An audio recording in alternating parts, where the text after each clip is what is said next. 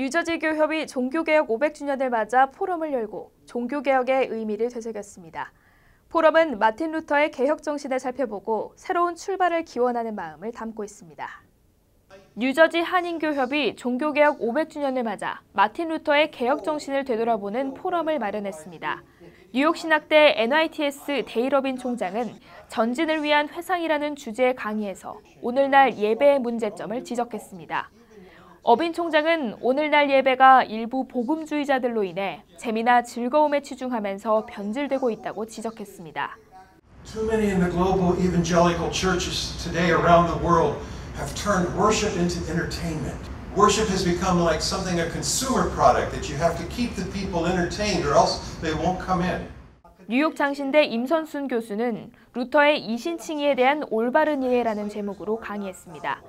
이신칭의는 오직 믿음으로 구원을 받는다는 의미입니다.